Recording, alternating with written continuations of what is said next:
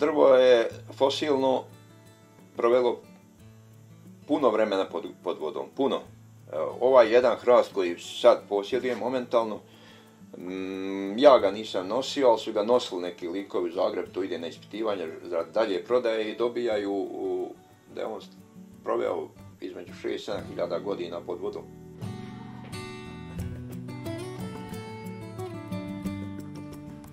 Pripremu vršim drveta na koski koju pripremim.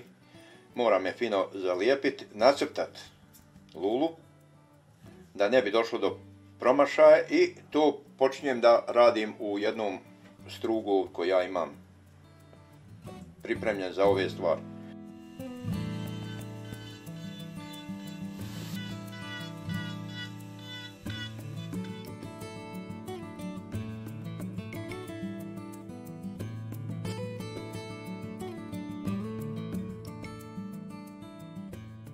Lule idu dosta u Ameriku, idu dosta u Njemačku. Imam nešto i u Austriji urađeni. Imam ovdje nešto sam radio okolo, da ne kažem kuće, tu Srbija i Bosna. I tu sam radio dosta.